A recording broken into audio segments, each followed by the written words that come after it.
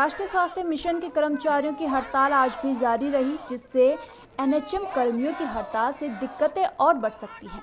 दरअसल, आपात सेवा में तैनात एनएचएम कर्मी भी हड़ताल में शामिल हो गए हैं आज हरिद्वार के मुख्य चिकित्सा अधिकारी प्रांगण में राष्ट्रीय स्वास्थ्य मिशन के संविदा कर्मचारी दिन भर हड़ताल पर रहे और एक रैली के रूप में जिलाधिकारी कार्यालय तक प्रदर्शन किया। डॉक्टर विवेक खन्ना ने बताया कि राष्ट्रीय स्वास्थ्य मिशन संविदा कर्मचारी संगठन के आह्वान पर दो सूत्री मांगों के समर्थन में कर्मचारी हड़ताल पर हैं। सारे एनएचएम संगठन के साथ ही सब एकत्र हुए हैं। पिछले सात तारीख से हम लोग निरंतर सीएमओ ऑफ़िस में अपनी जायज़ मांगों को लेकर के धरना प्रदर्शन कर रहे हैं। हम राज्य सरकार से पिछले दो साल से वार्ता के क्रम में हैं, परंतु सरकार द्वारा हमारी बातों को सिर्फ़ इधर उधर बरगला हमें भ्रमित किया जा रहा है। सरकार द्वारा हमें बार बार समय दिया जाता है और हमें रोक दिया जाता है। परंतु इस बार हम पूरा पूर्ण रूप से हमारे संगठन ने आह्वान किया है कि जब तक हमारी मांगे पूरी नहीं होगी, तब तक ये मातृशक्ति और समस्त एनएचएम कर्मी अपने कार्य पर नहीं जाएँगे। वही संगठन पदाधिकारियों ने आंदोलन को तेज करने का निर्णय लिया है। साथ ही कहा कि हरियाणा की तर्ज पर उत्तराखंड सरकार उनकी मांगों को स्वीकार करे।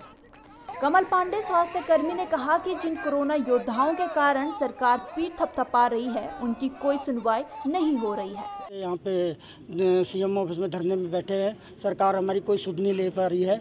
हमारी दो सूत्रीय मांग है। एक तो हरियाणा की तर्ज पे, हमारा ग्रेड पे, और दूसरा आउटसोर्सिंग बंद करी जाए। ये जितने भी कर्मचारी एनएचएम के हैं सबने अपने समय में कोरोना के टाइम पे अपनी जान को जोखिम में डाल करके, इन लोगों ने अपने परिवार की बच्चों की परवाह न करके जनमानस की सेवा करी है और आज सरकार हम लोगों को ठेंगा दिखा के जा रही है। इसीलिए सरकार को हम जगाना चाहते हैं और कहना चाहते हैं कि जब दूसरी सरकारें राज्य सरकारें दे सकती है, हरियाणा दे सकती है, यूपी दे सकती है दिल्ली में भी बात चल रही है और प्रदेशों में भी बात चल रही है तो हम लोगों को हमारा अधिकार मिलना चाहिए। हड़ताल के कारण अस्पताल में बच्चों को इलाज नहीं मिल पाया, टीबी के मरीज़ भी बिना जाँच और दवा के निराश लौट गए।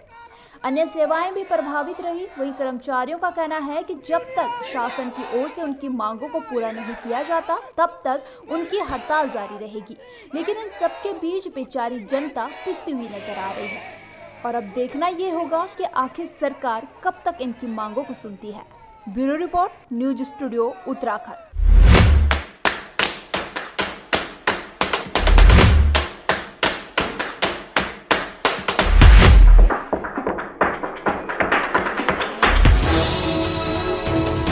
Uttarakhand की हर खबर सिर्फ़ न्यूज़